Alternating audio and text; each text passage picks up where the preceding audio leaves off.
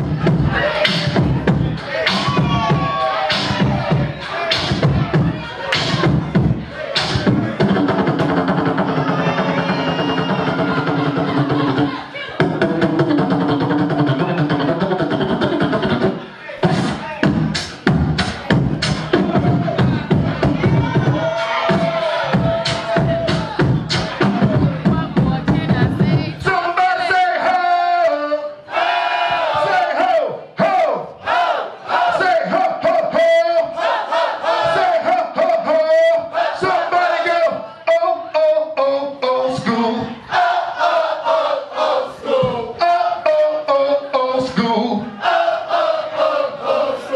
We did this shit because we love doing this shit for fun.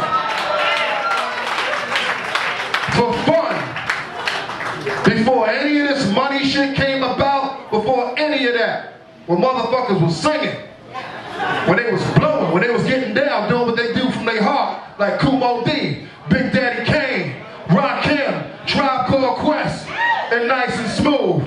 Somebody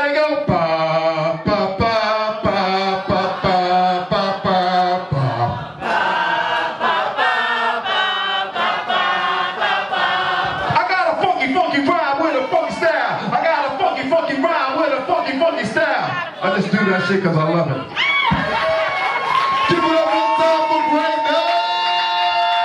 Legends in the building.